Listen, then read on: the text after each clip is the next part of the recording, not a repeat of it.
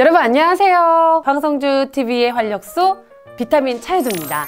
아, 오늘 바로 첫 방송이라서 긴장도 굉장히 많이 되는데요. 오늘은 신체편에 또 건강에 대해서 모든 것을 나누는 시간을 가져볼까 합니다. 여러분, 암에 대한 이야기를 들으면 어떤 마음이 드시나요? 심장이 쿵 하는 그런 기분이 들지 않으시나요? 한 집 걸로 한집 건너서 정말 암환우가 많다고 해도 과언이 아닌 이런 시대에 오늘 모든 분들이 이 방송을 통해서 정말 회복되고 궁금증이 싹 풀리는 그런 시간이 됐으면 좋겠습니다. 방송 전에 여러분 구독과 좋아요 눌러주시는 거 잊지 말아주세요.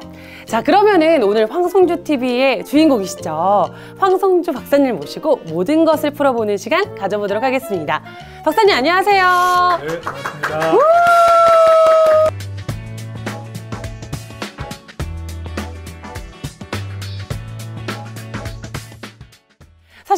황성주 박사님의 그 흰 가운이 저는 굉장히 익숙한데요. 오늘 이 흰 가운을 벗으시고 이런 캐주얼한 느낌을 가지시니까 제가 모든 질문을 다 할 수 있을 것 같은 그런 느낌이에요. 네, 자연 그대로. 이야.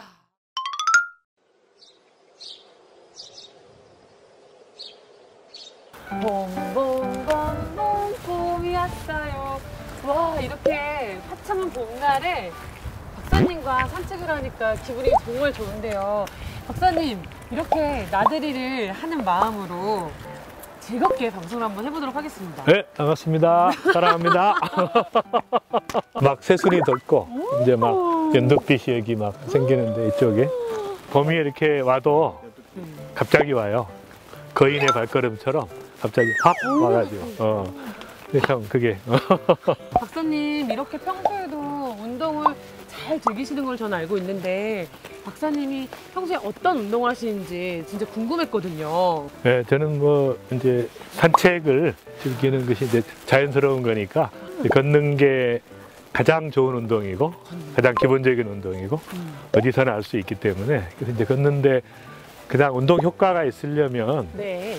조금 빨리 걸어야 돼요. 그러니까 이 보폭을 좀 크게 하고 하나요? 이렇게 힘차게 이렇게 걸어야 운동 효과가. 근육들이 쓰여지게 되면서 그 그러니까 근육 운동과 네.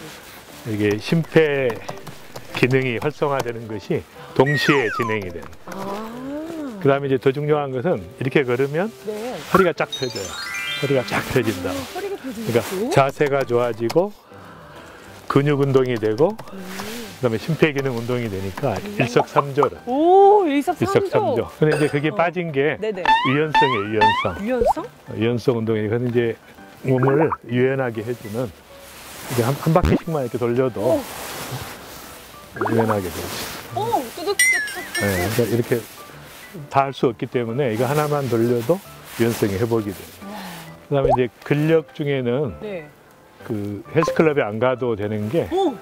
이게 엎드려서 이렇게 응? 이거 하는 거죠. 아, 푸시업. 네. 푸시업. 어디서나 할 수 있기 때문에 그래서 이걸 한 20번 정도 하면 이제 완벽하게 운동이 끝난 거예요.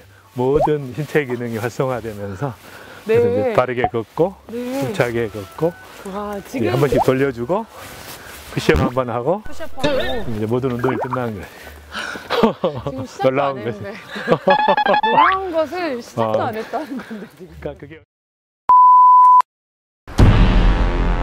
의학자로서 아마는 분들이 이 방송을 보시고 아마